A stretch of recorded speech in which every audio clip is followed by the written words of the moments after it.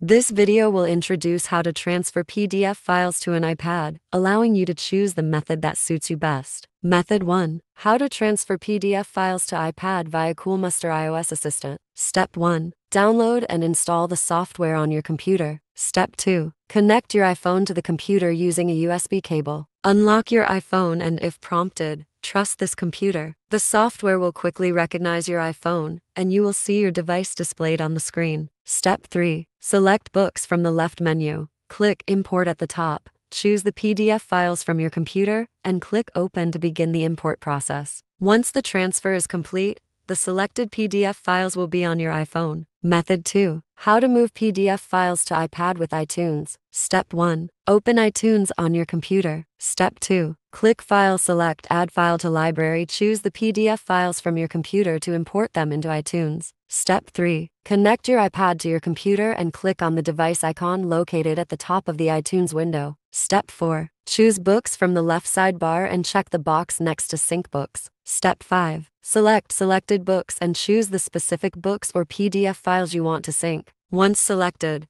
click Apply to begin the syncing process. Method 3. How to copy PDF to iPad using iCloud Drive. Step 1. Sign into iCloud.com on your computer and open iCloud Drive. Step 2. Drag and drop the PDF files into iCloud Drive. Step 3. On your iPad, open the Files app and locate iCloud Drive. Step 4. Download and open the transferred PDF files. Method 4. How to add PDF to iPad from PC via email. Step 1. Open your email on the computer and compose a new email. Step 2. Attach the PDF file as you want to transfer and send them to your email address. Step 3. On your iPad, open the Mail app and find the email you sent. Step 4. Download and open the PDF file as attached to the email. Method 5. How to transfer PDF documents to iPad via AirDrop Mac only. Step 1. Make sure both your iPad and Mac computer have AirDrop enabled and are connected to the same Wi Fi network. Step 2. On your Mac computer, right click on the PDF file you want to transfer, select Share, and then choose AirDrop. Step 3. In the AirDrop window that appears, select your iPad.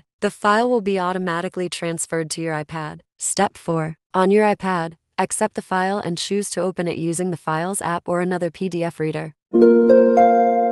Thank you.